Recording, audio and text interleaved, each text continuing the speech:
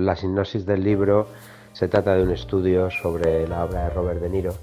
Es un trabajo en el que hablo del comienzo de su carrera, desde la, desde la infancia, cuando le llamaban Bobby Milk.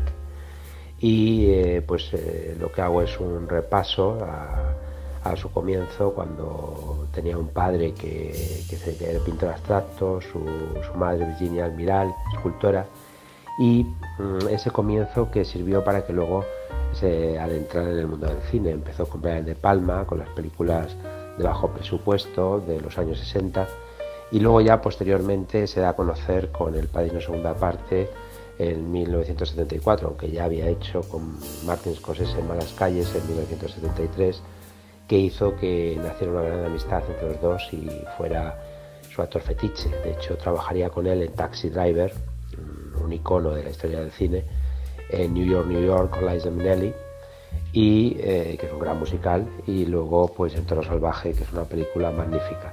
Posteriormente, Martin Scorsese y De Niro trabajarían juntos en bastantes ocasiones más, entre ellos El Rey de la Comedia, de la que hablo, y yo me he centrado en el libro, en, el cine de los años 60, el comienzo de, de las películas de De Niro, el cine de los 70, que me parece el mejor, donde demuestra que es uno de los mejores actores de su generación, y en el cine de los 80. Hablo también de las eras una vez en América, de Confesiones verdaderas, de Enamorarse y de La Visión, que son películas de los 80.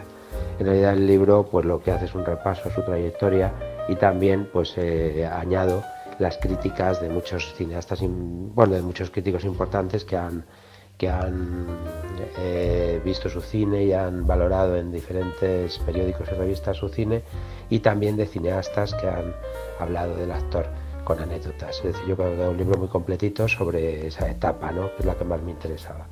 Y un abrazo.